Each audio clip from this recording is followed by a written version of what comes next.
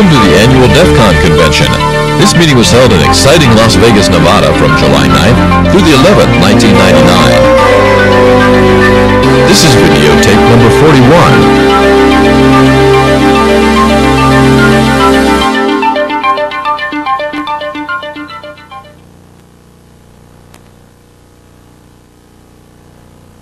Um, no applause? Hands up who was drinking late last night? Yeah, don't applaud. Hands up who was drinking late last night. Who was drinking come sunup?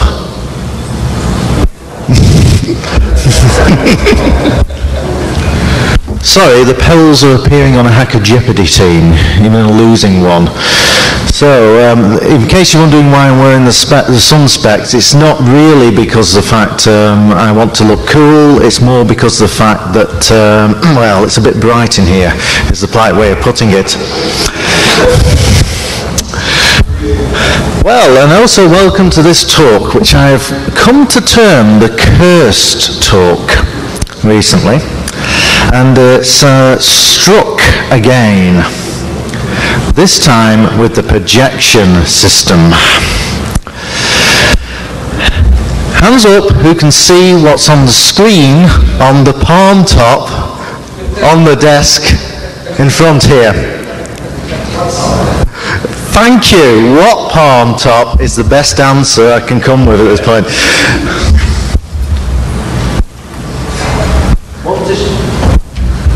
One Toshiba libretto. Um, it not, doesn't seem to be willing to project. It doesn't even do it under Windows, let alone Linux, which the presentation is under. So um, I'm going to probably have to deliver this without doing the projection. I suspected this might be the case.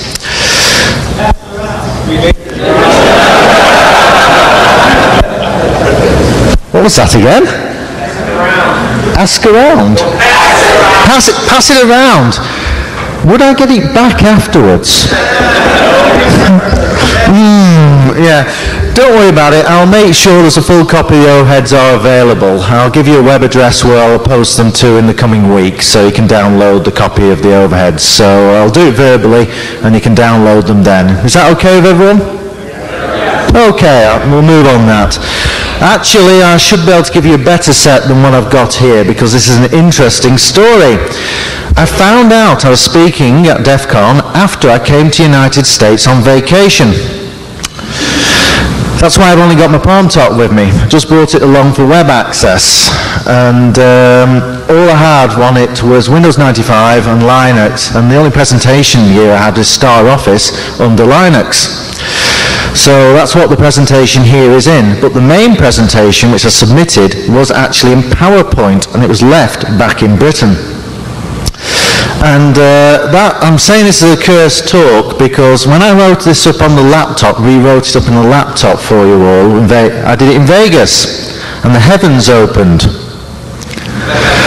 So it rained here, I think I might be to blame for it, and uh, in Britain, when I did the original one on PowerPoint, I did it a couple of days earlier, and uh, after that I was in a road smash and had to be cut out of the vehicle about three weeks ago, so I'm here with cracked ribs, but still operational.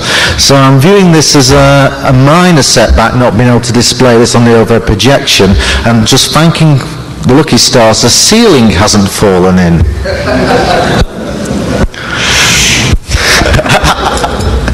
Yeah, definitely. Shh. It's the best way on this. So, what's the talk about? Well, literally, the talk is about simple methods which can be used to damage a company's website or damage a company's web presence or internet presence without necessarily hacking the site itself. There's all sorts of techniques, and as I've been asked to do this for the Newbie Channel, I've picked some of the simpler ones to outline later on, which can be done, and particularly strong emphasis on the defense against them. If you've not read the sheet, I'm a lecturer in computer networking and also on computer security and information security. So it's more aimed more towards protection than attack, but naturally to defend you've got to know how the attack occurs. So I'm going to be describing that out to you. So it's in basic terms, and if you're expecting some radical new hacking exploit, um, you're in the wrong talk.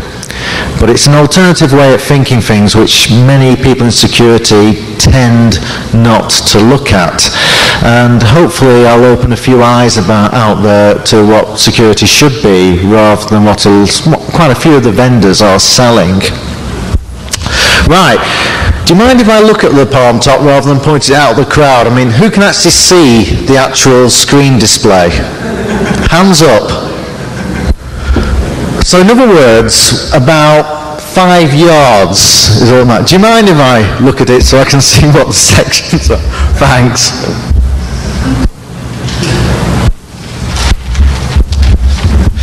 Problem with the libretto, if anyone ever gets one, tube libretto, is that the screen resolution is 640 by 480, which, believe it or not, a lot of projection screens will not display. In addition, the fact it's very, very high frequency on production, and um, that's what things a lot of the presentation devices won't do. It. Is turned on in the BIOS, if anyone's asking, um, to actually project out on the overhead projector. So um, that's the reason why it's not displaying. And, and, unless someone here wants to come up and reconfigure X Windows, so I can't see it, but uh, knock down the screen display um, thing to actually get it up on thing, they're welcome to have a go if they can do it in two minutes flat. Anyone here can do that? Won't work.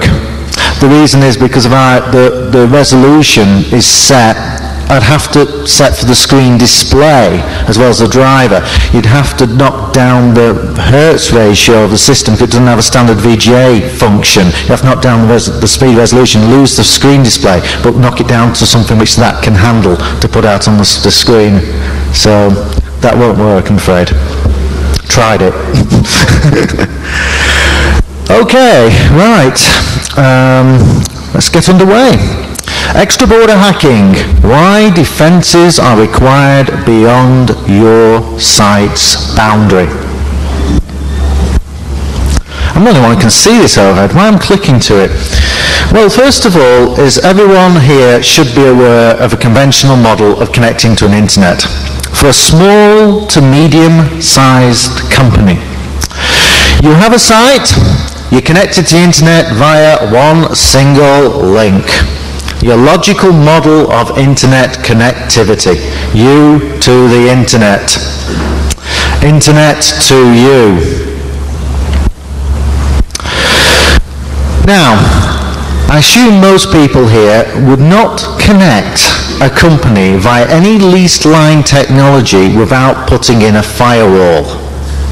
I think it's a given thing that everyone here would actually connect a firewall. Anyone who wouldn't? You wouldn't connect a firewall. Why is that? Ah, okay. But okay, you'd put some kind of method of actually internet at large, wouldn't you? Or more importantly, between the, your company and the attendees of DEF CON, I would imagine. It's realistic, isn't it?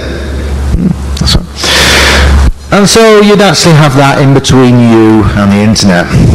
There's a great deal of computer security vendors out there who are selling firewalls as the be-all and end-all of security. I hope people by listening to some of the talks at DEF CON will start to realize that if they had that conception beforehand, that's not necessarily the case. Firewalls are good. Firewalls will help you. They won't do everything. You have been attending the other talks, haven't you, I trust? Yes. Right, okay. I'm just asking at this point here because, um, you know, in the previous times when I've been to DEF CON and I've turned up before, um, a lot of people have just gone on drinking sprees up till Sunday, then turned up because the bags have been kicked out of the hotel and therefore hang around the presentations for a little while before going back. Anyone notice that this morning? No? No? All the luggage in the corridor? The thing is, firewalls enforce a kind of fortress model. the traditional Orange Book-based approach to computer security. For those who didn't know, the Orange Book, a security standard for actually securing sites, it's based on the fact of hardening sites against attack. You form a fortress and defend against it. The old traditional model of computer security. There's also another model, time-based, pioneered by Bob and uh, talked about a lot by Winn Schwartau. If you haven't been hit by one of his books thrown into the audience on the subject, if you were there last night, you probably were hit by one. But literally, both of these are based on a kind of fortress model. And it's interesting that computer security is often analogous to actually real life and old things in which happened in history. So really a firewall is nothing more different than a castle. It helps protect your site. And what people forget is that castles have problems. There's a whole series of things in history where castles have actually been detrimental to the defenders. Anyone remember, heard of a certain battle which occurred between Julius Caesar in France, famous for its what's called tactical donut? No? Any military people here? Alesia. Alesia, that's the one. Yes, I was leaning on to that one. So, um, so you're fed?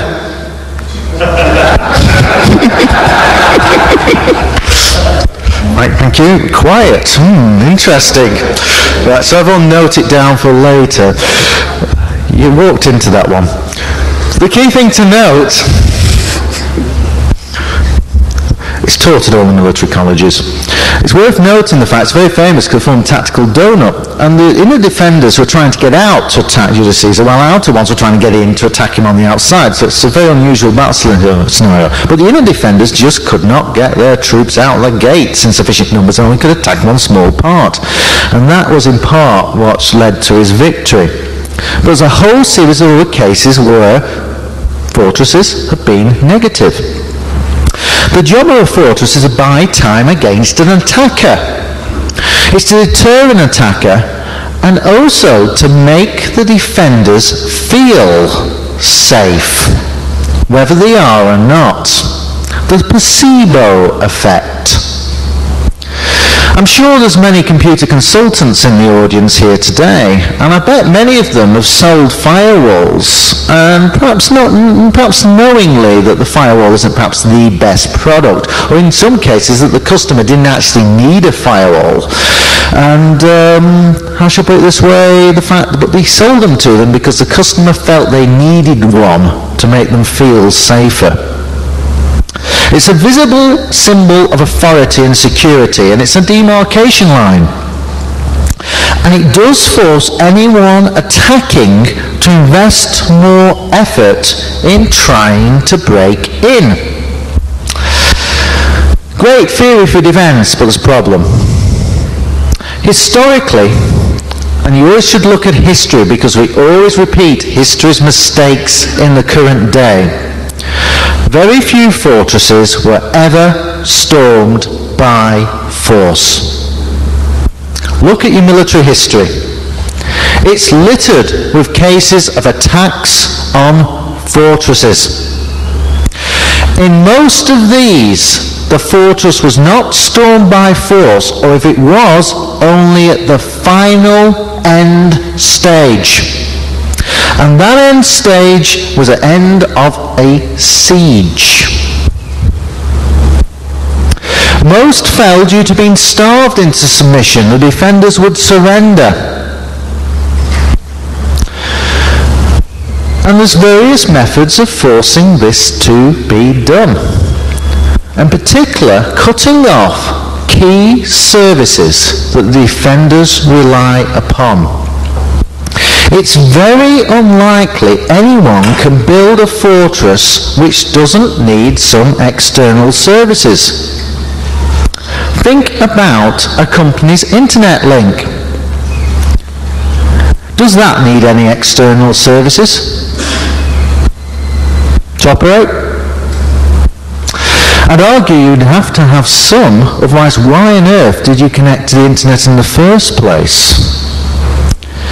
So literally, you've got that flaw. And there's been a whole series of these throughout history. And to move into modern history is to give a military example, the fall of Singapore in World War II, where the Japanese effectively cut off the water supply and therefore forced the British forces to surrender. You can go throughout hundreds of cases where the fact this has happened. You cut off something essential, something people didn't think about, and it forces the other side to capitulate. And this is worrying because many sites connected by internet links but protected by firewalls have key services which are important to them running on the outside of the firewall or elsewhere on the internet where they may be vulnerable.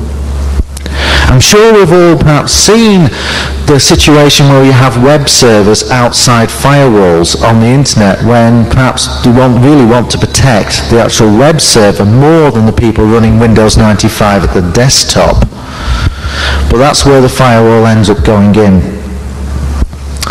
So, let's look at the attacks. Let's look what can go on. And the first one is your internet service provider.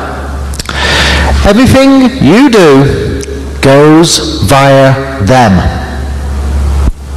Simple, really. Everyone here knows that from their access at home, if not from their companies. Who trusts their internet service provider? Hands up. Put your hand down if you are your internet service provider. Ah, right, okay.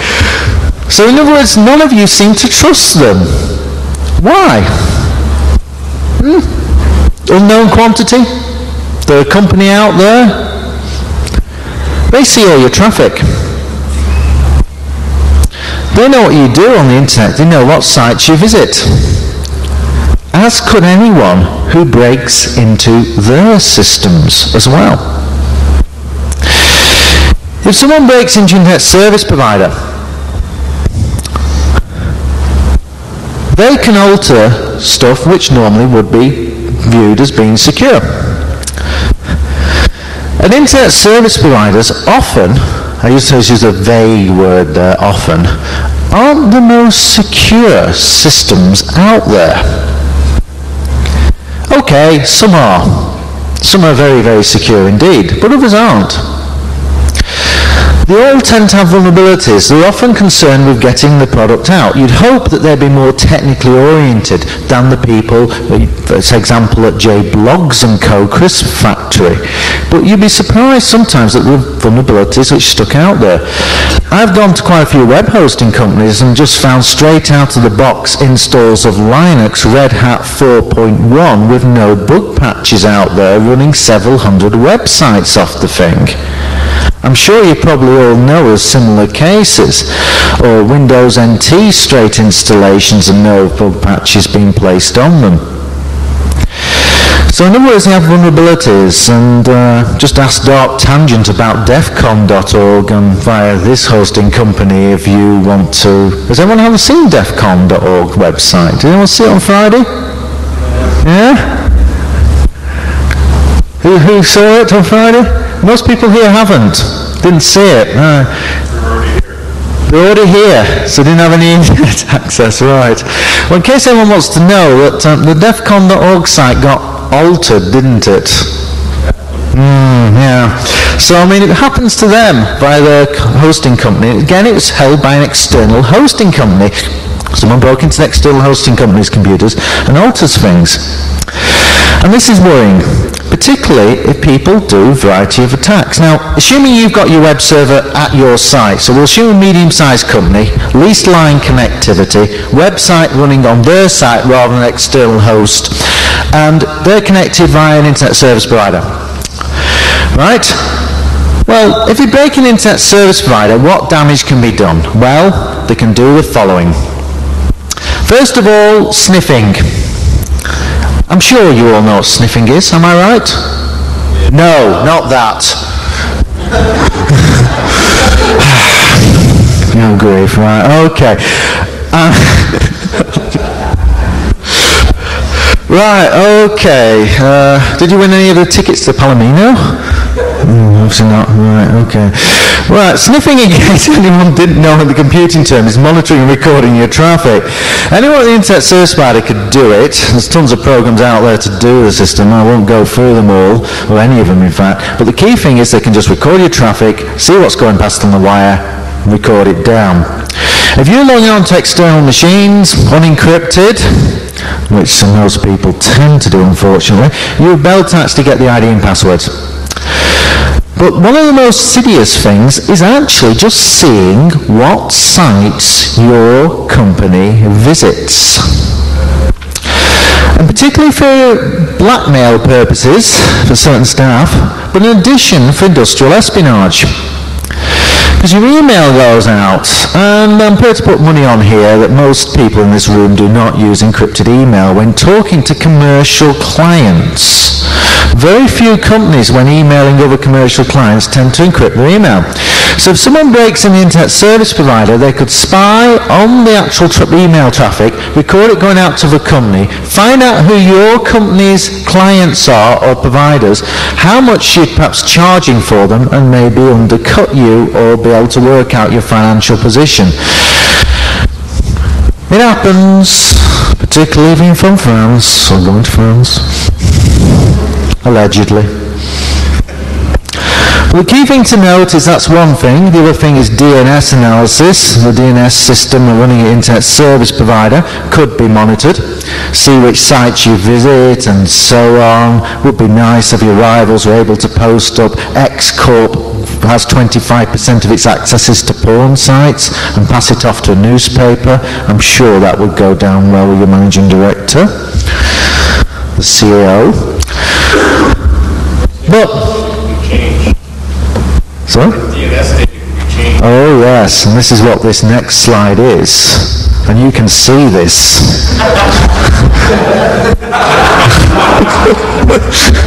You're sat in the front, very handy for this. Yes, it can be changed. I'm sure you've probably seen some of the other talks on poisoning caches, but what about hitting the primary and secondary DNS servers? Most mid-sized companies tend not to bother hosting their own DNS servers on site, even if they've got a web server. They get their internet service provider to host it for them.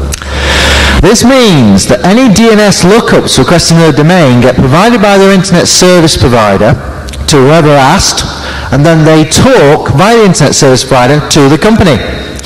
So if you, on AOL, any AOL users here? No one wants to admit being on AOL. Hmm, strange. So obviously not many security professionals in the audience. Uh, a lot of them tend to have CompuServe and AOL accounts, I've noticed. They do, it's true. It's just they don't. Go on, let me ask the question again. Honestly, who has an AOL account or CompuServe? None. Right, okay then. I don't believe it. Some of you will. Okay, who had an AOL account and dropped it? Thank you. Least got some people answer. Now, the thing about it is that these internet service providers, they go via them, they get the DNS information off your the ISP server hosting the website. They get that, then use the IP number to talk through to the site. TCP IP basics talk. I'm not going to go into it anymore. But what happens if someone breaks into an internet service provider, changes that DNS information? They can redirect where the website's going to. So instead of going to your company's website, they can be redirected to another one. So people going to yourcompany.com suddenly go to www.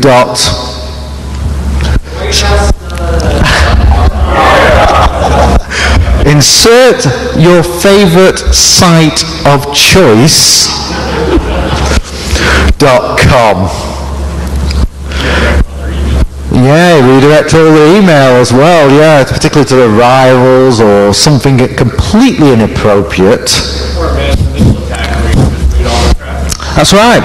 And in addition, of course, there's another nasty attack where you hack someone else's DNS one, which is a completely different site, and redirect their email to you. Your target, and that means that they get all the spurious emails which they wouldn't normally expect.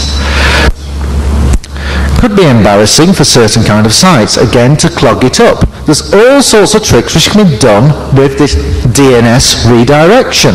It's not no, it's a hacking attack. It's not that tricky to pull off. Okay, that's leave DNS for time. Uh, I want to get through a few more services, in particular denial of service attacks, which you've all heard of, I'm sure, particularly the old-fashioned hosing attack. And this actually operates, hang on, does, everyone, does anyone know what hosing is? Literally, it's just sending people so much traffic that their pipe can't handle it. My pipe's bigger than yours, so I can transmit more data than you can handle, so you cannot access the internet. So I've got a T1, you've got a 56k modem, I broadcast 64, well, broadcast like 256 kilobits a second to you, you're not going to be able to do any web browsing or anything on the internet whilst I'm transmitting. That's what the hosing is. And again, that's an interesting one because firewalls at sites often make hosing attacks more possible. They slow down connections. Anyone here who's worked in a company who's got a firewall connected via an ISDN line or slow speed connection, then suddenly upgraded the speed of link and tried to put use the same firewall on the higher speed link and suddenly found you've got no improvement in actual connection speed. Anyone have that situation? Yeah, a few professionals out there. Because of the fact the firewall wasn't able to handle the extra traffic. It was a limitation on traffic. And this is very worrying because a lot of systems have this and a lot of military fortresses in the past have had this. And there's a famous case, everyone heard of Horatio at the bridge from military history? From Roman history? Yeah where one person essentially stood at the bridge. Everyone had to cross one at a time. The attacking army was able to face the entire army one on one and essentially save the city by defeating the army. He died himself, I believe, but um, was able to defeat the attack. So this is the sort of thing again which applies, and firewalls do constrict your access speed. So in some ways they make you more vulnerable to these sort of attacks. And we all know denial of service attacks don't need much knowledge to carry out. Any script person can actually get stuff off certain sites on the internet. Now these are the more technical external attacks, but there's some incredibly insidious, very basic levels attacks which can be carried out by people with no technical knowledge whatsoever. And I'm including here technical knowledge, being able to visit a certain website, get a script and press go and type in an IP number. There are some even more basic level skills which can be done to attack this. And this is based about actual information and poisoning information out on the internet about companies.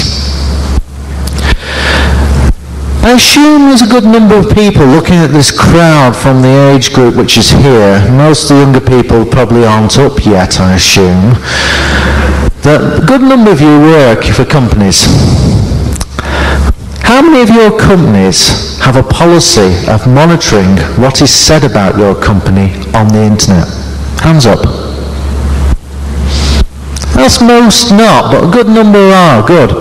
Because most companies tend not to check what's been said about them on the internet, and that is dangerous. Information is power. Poisoned information about a company can be damaging. Say the fact that you are going to post a loss in the coming quarter gets out to the people trading your stock on NASDAQ. What's going to happen? Yeah, we all know what's happened. We've seen some cases of someone, people trying to talk up stock as well recently using false information. And the problem is people accept what they are told across the internet without really checking the sources. And the problem is people can do these attacks, particularly on things like news groups. Now, most people here probably access news groups at one a time, alt.sex, whatever, or other topics. Uh, well, I know you have. There's always one in the audience, you can always get one. The thing is, you always have people who access these kind of sites, and particularly useful ones as well, like comp.os.linux and so on like that. And hopefully comp.os. Well, stuff on libretto, I was trying to get it work with these over projection systems as well. I'm going to have to visit that one. The thing is, fake press releases could easily be published on a news group and hope of causing you problems. And it can be done virtually anonymously. Forget what people say about, oh, you can always track people across cyberspace and so on. Well, any person can go and get an AOL account, one of these trial accounts. You find them, well, who hasn't got them coming through the door? You know, just, just go and get a magazine, pick one up, enter in some kind of financial information for the registration, Connect on via a hotel room, registered on someone else's name, paid for in cash, and um, you can post anonymously. Um, any other internet service provider probably similar, a CompuServe and you name which one you want to do. I'm just picking on AOL because I have an AOL account.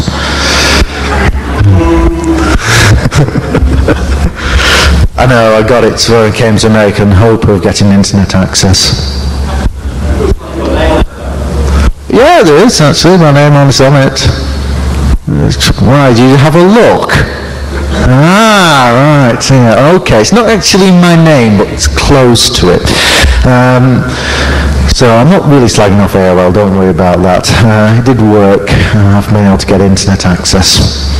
But the key thing to know is the fact that these companies which distribute things widely do make this vulnerable. It is possible to do it. And the people publish via things like Deja News in addition, it helps muddy the waters. They can almost certainly get away with such a posting. So it's not exactly news, not exactly difficult.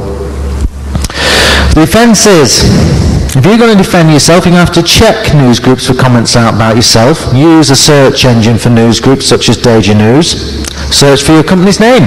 See what's there and publish quickly counter statements, if any, occur about your company. You're going to have to be on the ball on this. It's worth noting that many companies use such companies to search for news articles on themselves, press clipping agencies, which tend to return once a week. A number of these actually do this on the internet as well, and it might be worthwhile paying for such a company to actually search for your press clippings and information to see if anyone's doing this about yourself. And it can affect small companies as well large ones. Imagine if you're a small burger joint and uh, someone posted news to a local news group that you had food poisoning outbreak. Gets into the local press. Problem. People could also email poisoned information pretending to come from you. There's plenty of guides on out there on how to hide your email and disguise where it's coming from. Use the trick I told you earlier and uh, just actually connect on using port 25 and enter the information. There's tons of script information out there. And they just send it there and it appears to come from you. Okay, if you had a check, you'd find out it wouldn't have come from the person. Who thinks newspapers are able or take the effort to check up all the releases sent to them to check the header information to confirm everything's correct? Okay, major ones do it. What about the local newspaper? Hmm? You know, you've got to watch out for that. That can happen, particularly also to clients as well. Hey, I mean, people do it all the time, like cancelling hotel rooms of some speakers coming to DEF CON. It does actually happen. So, what happens at this point? Well, how do you defend it? Well, you should use digital signals, signatures on emails. Anyone do that with their email? Yeah, go on. A good number of people here do that. Digital signatures just really take the contents of the email, produce a hashing function out of it so you can tell the email message is actually who it came from and the contents haven't been altered can do that on emails, you can do that on the news groups, but it's not perfect because how many people here think everyone who you send digital signatures to bothers checking their authenticity. How many people here have had a download off the internet of some popular application, share application, and it's had a file with digital signature, say generated with PGP, and you've checked the digital signature to check your binary was not altered. Who's actually done that? About 20% of this audience. Who reckons the general population at large bothers? Not likely. Most don't do it. So there's no really easy answer to actually defend some emails. Okay, that one there. Oh, good grief, moved ahead. So let's have a look at some other little simple ones. And the most obvious one of all is the domain name registration trick. I assume everyone's registered their domain name. In fact, I think most people in this audience probably have tons of them um, or registered those investment opportunities. Some companies didn't left themselves open and uh, quite recently a couple of major companies never bothered registering their domain names and they got taken over. You probably heard of that in quite a bit in the press. I won't mention their names and won't embarrass them but uh, I'm sure you'll find plenty of information on websites about it.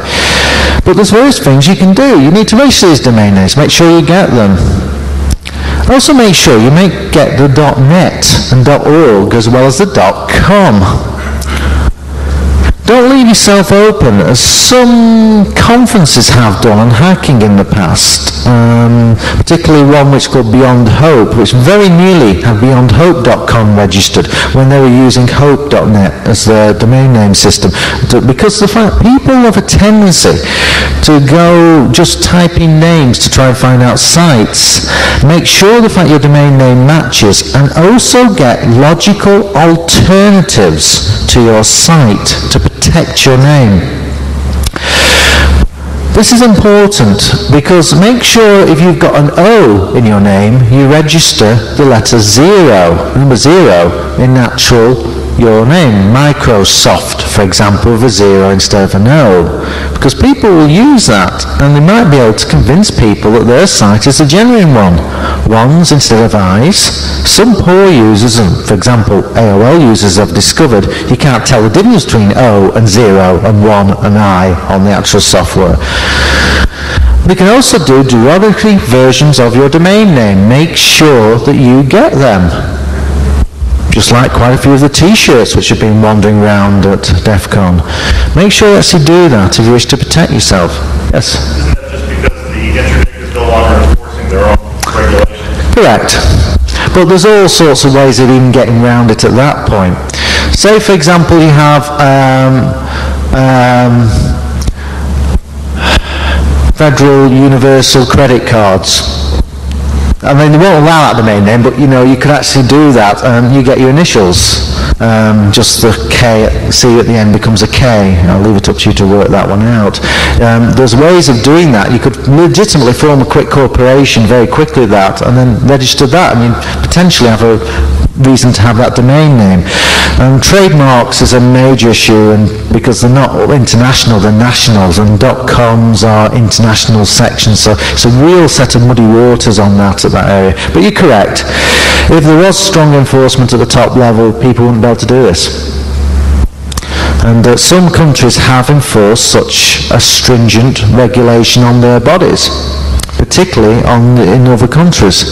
Um, the LTD.UK one in the United Kingdom is an example of that, which uh, only is available to registered limited companies under their registered limited company name. The .co.uk is open, but .lt.uk, you must be a, a registered company to get that particular name. So people can easily construct a site with a similar domain name and they could even design it to look like your site. Well, I'm going to use AOL here. Anyone heard of AOLbilling.com which knocked around until it was wiped out recently? A site for AOL users where people are emailing AOL users and saying, oh, we've lost your billing information. Please go to www.aolbilling.com and type in your ID, password, your credit card information, your mother's maiden name, and your national insurance number so we can actually ensure that you get a faster service. These things happen. Um, you know, I receive such emails going, that doesn't exist anymore. But the key thing is this, people could create sites and maybe even convince people it's the legitimate site. It could be accurate copy for a while before it got changed, yes? It could be accurate copy before it even got changed.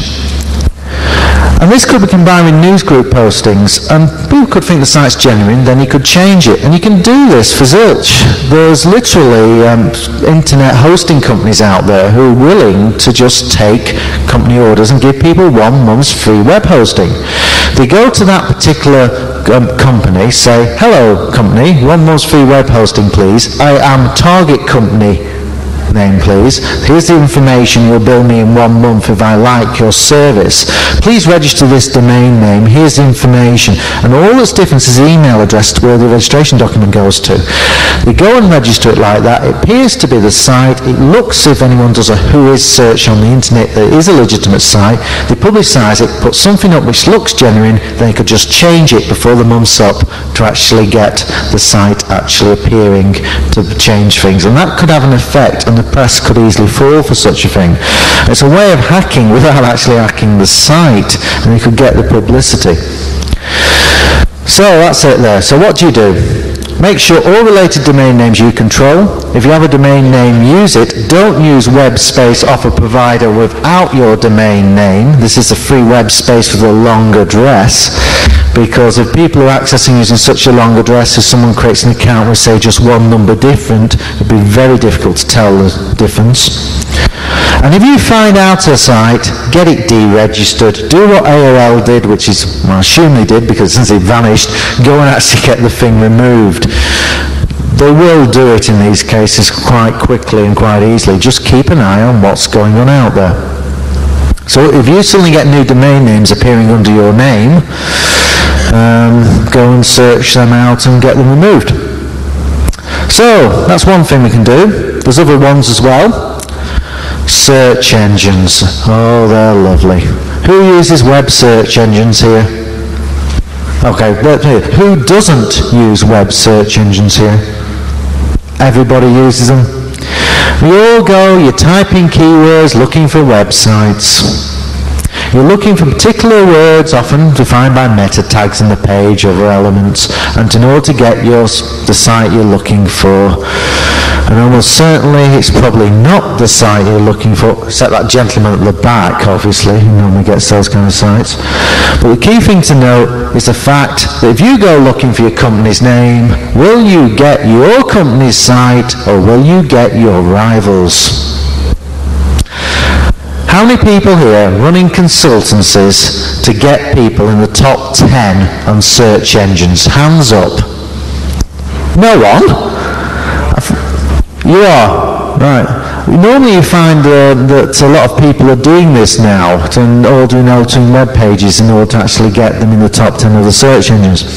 But a rival could do the similar sort of thing to jump ahead of you in the queue. And also the fact this fake site could also jump ahead of the legitimate site. There's a good number of people don't go around remembering domain names, they just rely upon the likes of Yahoo and other such systems to actually locate the sites for them and just type the company names in there, get the information coming back.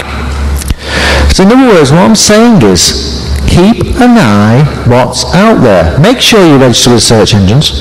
Make sure you're well positioned. Use that, that gentleman's uh, company services if need be. I don't no, I have no financial association with you whatsoever, but um, or similar people to make sure that you're well positioned in the search engines and check regularly for what your company name pulls up on the web.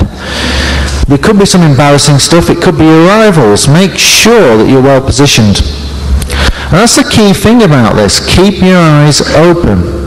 And I could go on about loads of extra things here, and uh, I could go into the more technical ones as well if it was required, but this is supposed to be the newbie thing. And the key thing I did for this talk is I wanted to wake people up into thinking about beyond the firewalls, beyond fortress models, beyond time-based models, and just think about the actual setup of your systems on the internet and regard the internet as your backyard which you also have to defend.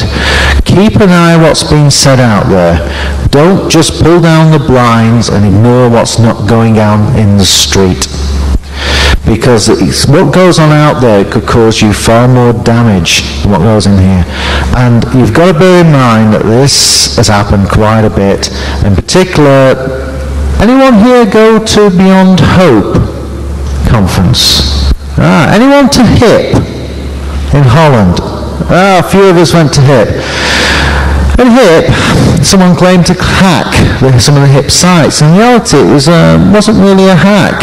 It was a site altered locally in America and just changed to look like it. So these sort of things are done, and they do get publicity, and people only realise well after that things weren't as hack, uh, weren't really the hack that actually happened. But after that, it's too late. That the embarrassment has occurred. Okay then, right, well I'm willing to take questions now. I think it's a good time to take a few questions and I have a few things to pass out to the audience if anyone's interested uh, from a British conference called DNS, plug 14th of August, Blackpool, United Kingdom. You won't get an airfare over there now because the eclipse of the sun is three days beforehand, so um, it's probably why I'm plugging it. But I have a few candy bars from it um, ready to throw out. I'll throw them out in the audience, but I think I'll injure you all. So I'll be willing to kind of like throw them down the corridor in the next few minutes after questions if anyone's interested. Okay, questions?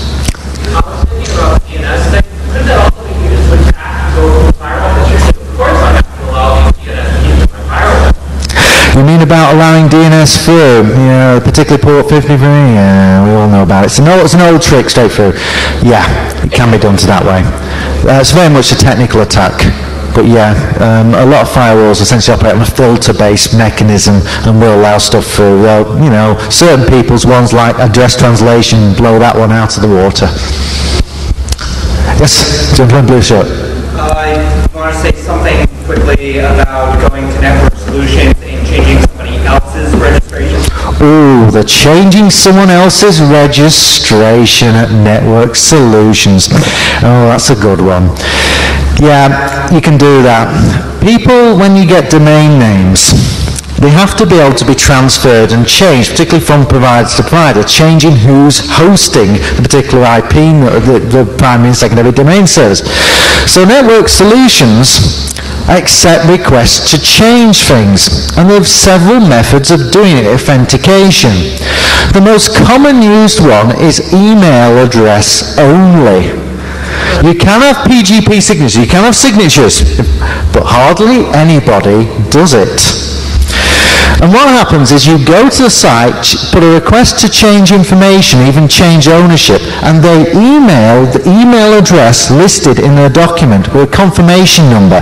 And the person then who gets the email must reply with that confirmation number to get the thing changed. If you can intercept that email and reply with it, you can change it. Yeah. Good example of the internet service provider is broken internet service provider sniffing, because then you can get that going past and reply. Brilliant question. You get a candy bar.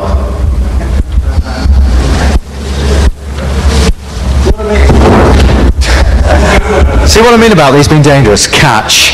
One. They make good cudgels as well. They've got a shelf life of about 300 years, so I mean, uh, it's essentially pure sugar, mint flavour, that with hackers rock all the way through. And um, the best thing to point out about them is that, well, watch your teeth when you try and eat one. That's all I'm going to say. This gentleman in the black shirt, which is not very identifiable, but holding his hand in the 26th number one straight in the front.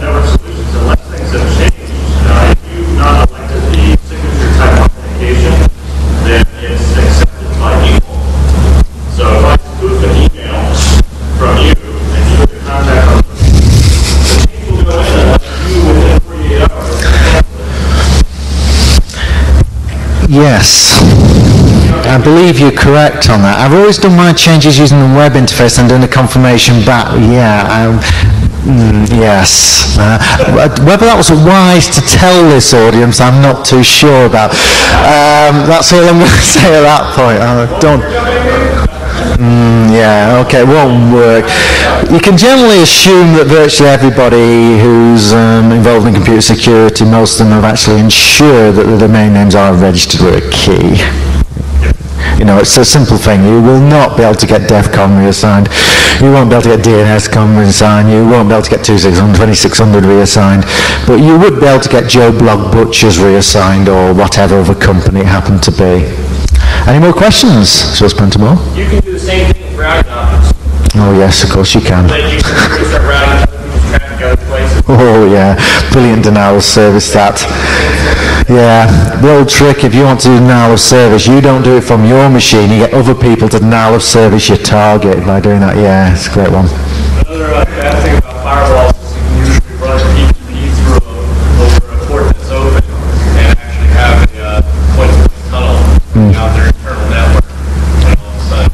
Yes, of course. Um, the old thing about most firewalls letting things through on the DNS request, with the DNS server outside and back orifice being put over that port, it's an old trick. It's a very common being done on that. And uh, it's amazing the number of modern installations which just allow that to happen. It really is. It's sad, but it's true. The gentleman in the glasses on this side, please.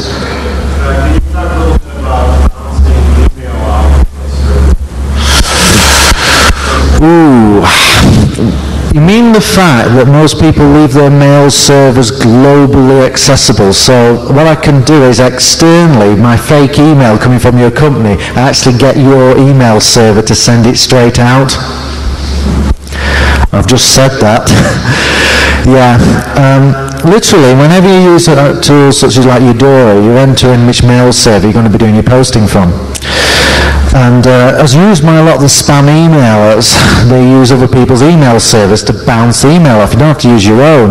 Most of them have got no defenses set up. Um, it's changing. The spam email industry has forced people to uh, check on this. But I could uh, set up my Eudora account to essentially send the email from your mail server. It would very, it would appear more or less that it came from your site at that point. It's it's still not complete because I still have my sending address, so you can, you know, could pick that one up, but it would be muddy the waters a bit more. You've had your hand up, gentleman blue shirt.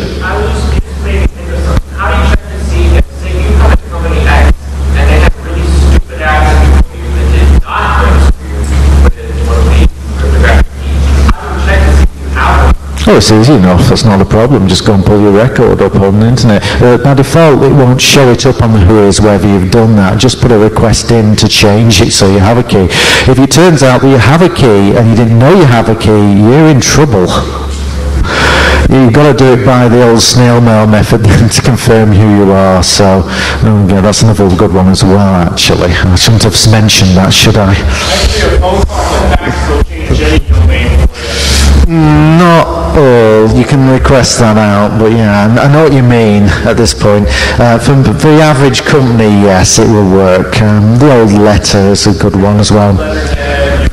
There. Oh, faxes. No one ever checks the, the number the fax came from, do they? I mean, we all know that trick. It's, uh, it's a ve- the, these are all basic tricks, I'm sure you notice. And uh, I don't want to deal too much on network solutions. If I can have a copy called question which isn't from network solutions as uh, the final question, because I so we need to get off for the next set of speakers. Should, where, where are the next set of speakers? Ah, right, okay. Okay, gentleman in the white shirt. Final question. Just wondering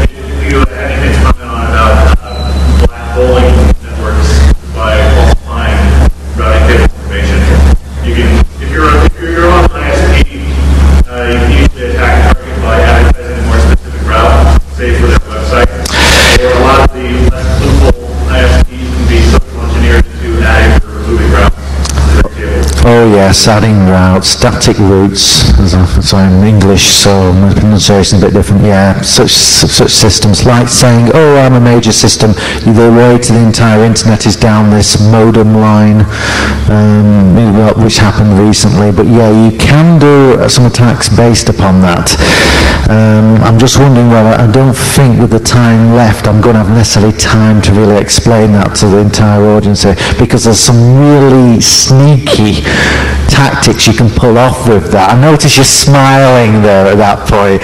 Yeah, um, I'm just, it probably wouldn't be wise, and I don't really have the time to go into that, but let's just say the fact, if you go and look that up on the web and have enough time to look at that on TCP/IP basics and the way routes at work, you can cause um, essentially traffic to go round in a circle and all sorts of nasty tricks to pull off and those sort of things.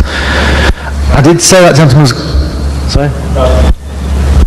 Okay, so that was another nasty thing, but um, I I said that was the last question, but I'll just take yours, and I mean this is the final question, okay?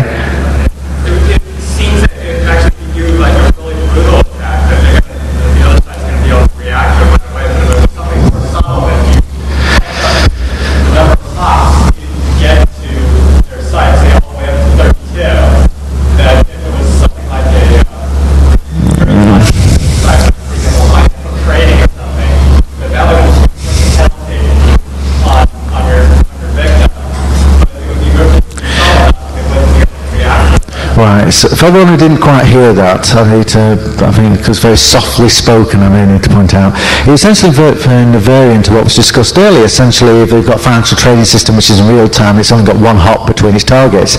If you alter the route so it goes up to 32, they're in deep trouble. Yeah. Simple. It's, uh, and it's, all these attacks are generally basically very simple attacks, but they can cause a hell of a lot of problems, and that's the thing you need to watch out for. And I hope I haven't offended anyone for any companies. Anyone work very well in the audience? Am I to expect my account to vanish now? Oh, thank you. Okay. Uh, This site where we can pick up the slide. Okay, that's a very good one. I'll make sure it's off the DNSCon website, um, probably because it's more likely to remain up, I think. www.dnscon.org.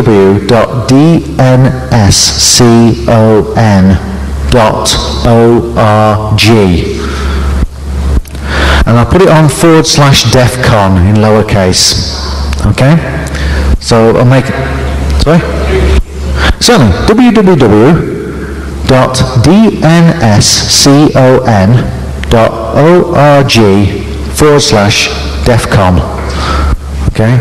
Uh, put it up on that site, unless someone wants to tell me another site directory they wanted on, I'll put that up. Remember the fact is my main slides are in England, so you're going to have to wait for me to get back. It's going to be about, about two weeks till I get back to the United Kingdom, so I'll have them up there. If anyone wants to email me, I'll put an email address up on the same page. Okay, so it'll be about a week or so, unless someone wants to actually see me now to get my email address. Um, okay, right, well, I'm just going to throw a few things out in the audience if anyone's interested. Anyone want anything? Oh, good grief. Right.